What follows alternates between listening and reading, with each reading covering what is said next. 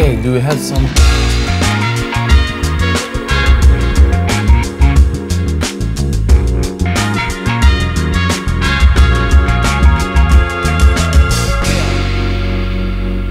Welcome to this channel. My name is Martin and I photograph stuff and you can learn a lot about lighting and other things on this channel.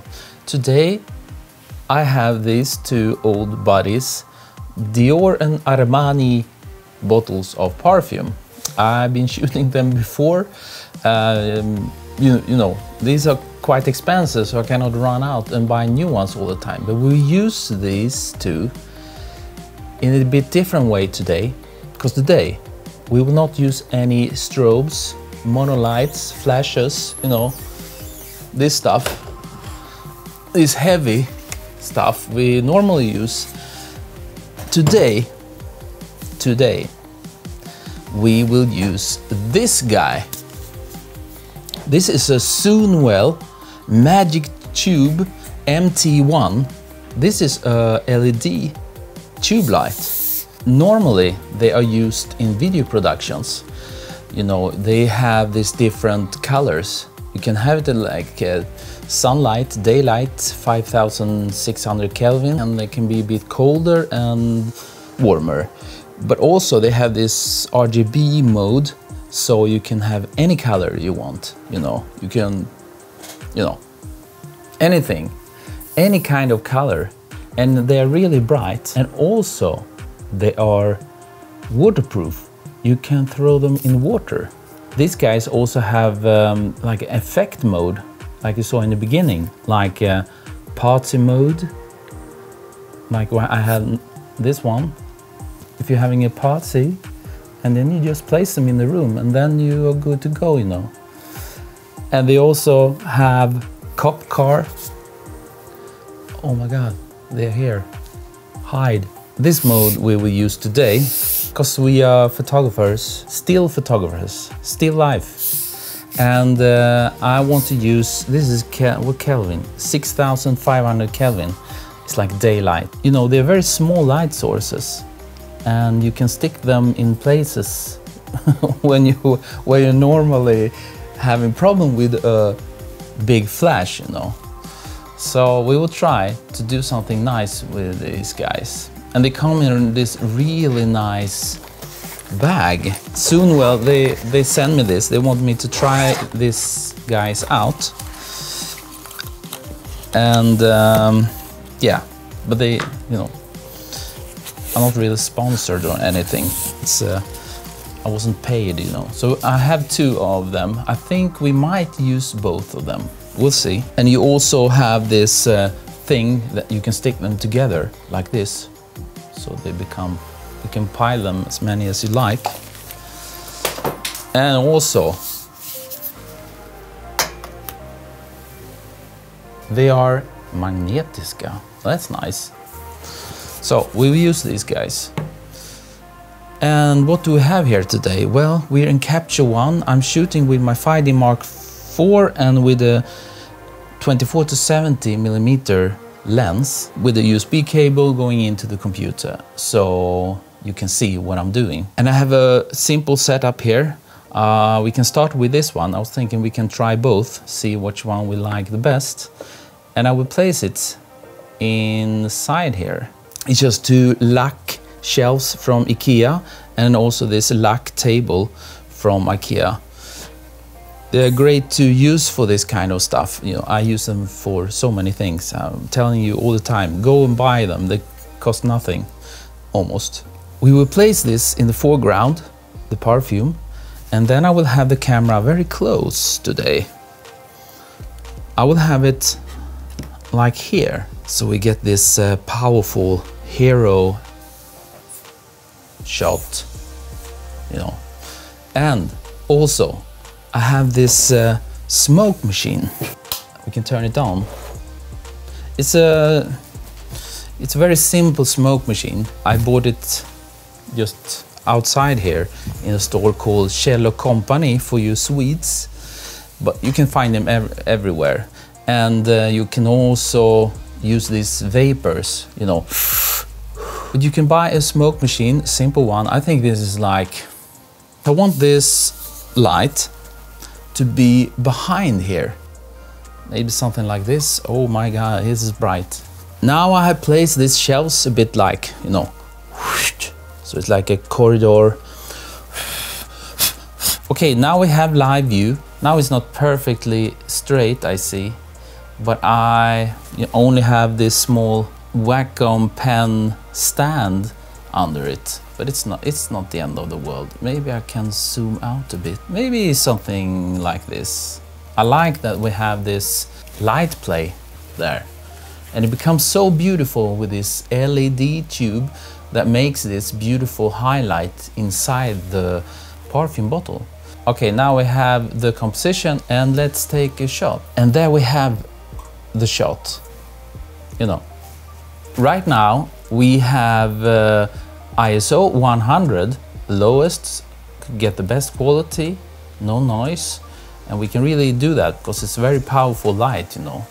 And we have aperture 2.8 because I only want the bottle to be sharp and then I want the sharpness to fall off. Short depth of field. But we can go up if you like to have if you have like a bigger product and you really want the edges also to be sharp on this perfume, the whole product in focus, then we just change the aperture. If you look at the aperture now, it's like I, maybe I can go up to 5.6 or something. And then I click one, two, three, four, five, six, six clicks.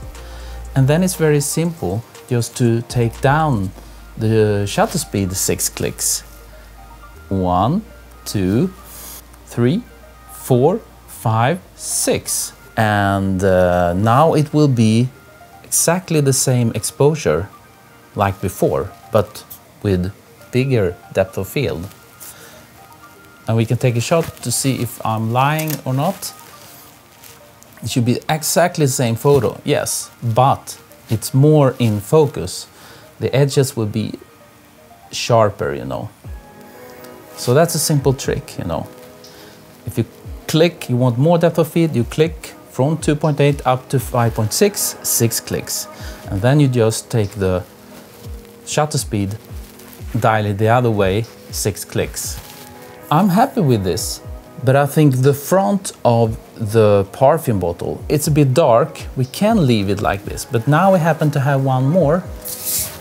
We can add a bit of light for this, this small, uh, tiny chain around the neck and it will sparkle up a bit. We can try. We can try. I'm just thinking maybe just a tiny bit on the neck there.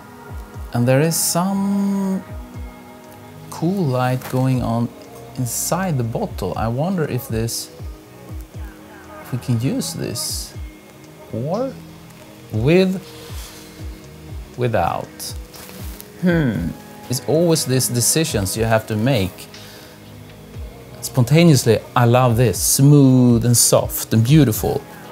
But at the same time, the neck is totally black, so I, I really would like to have something on the neck there because now it becomes like three-dimensional, you know, from dark to bright to dark and bright a bit here too.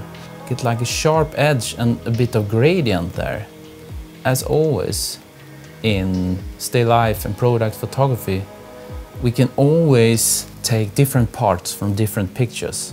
This I will take for the neck, but maybe I don't like the bottle. Well, then I just take the other shot and we do a composite. Two layers in Photoshop, you know, putting on a layer mask and we just mask in the neck light. Now I think we should try the, the smoke.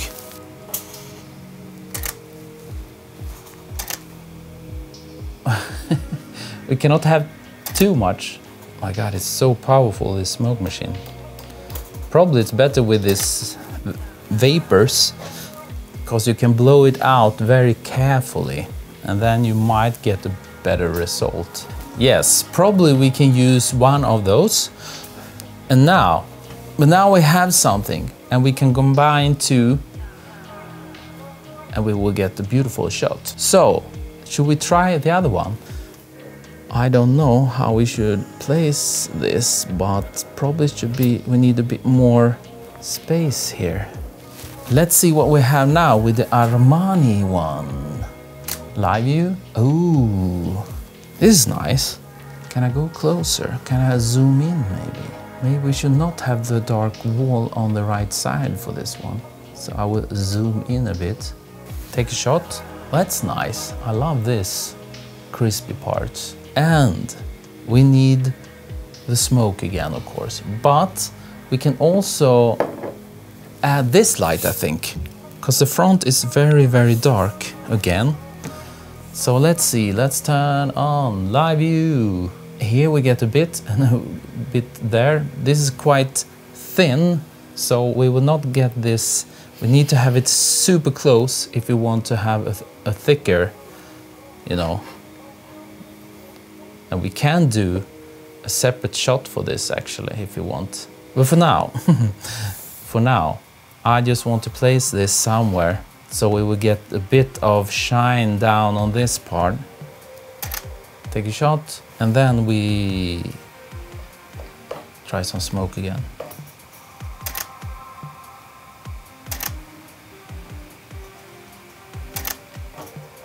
Yes, this is crazy. And also you see in the back here, the smoke makes this light, I'm not so sure. But you can always take the first one. Oops. The bottle crashed. The bottle crashed. But maybe that's a sign that we should do something else. Show a bit of the side there instead. Hopefully it will not fall. Don't fall!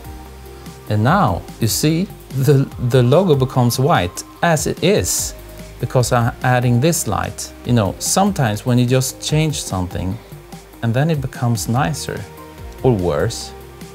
Mm. And let's add some smoke.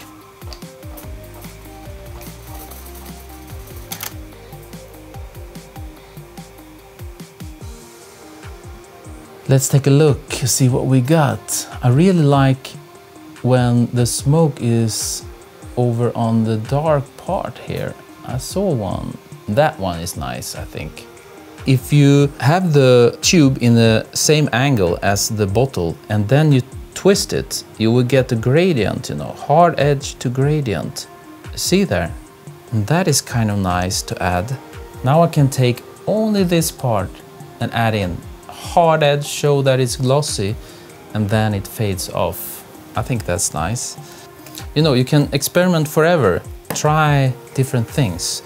Move the lights. You have the main light, and then you can build up the shot in different layers, you know. Okay, guys, that was a lot of fun. Let's see if I can come up with something nice from these photos. Um, there'll be some combinations a lot of smoke and if it's a good looking smoke shot but the bottle is not nice then I would just take a shot without the smoke and put it on a separate layer and mask in the bottle you know. That's how we do it. So thank you so much for watching and thank you coffee supporters who are supporting this channel. Thank you so much. And thanks to all you other guys who's watching and subscribing. It's helping a lot, you know. Thank you so much. And as always, I will see you next time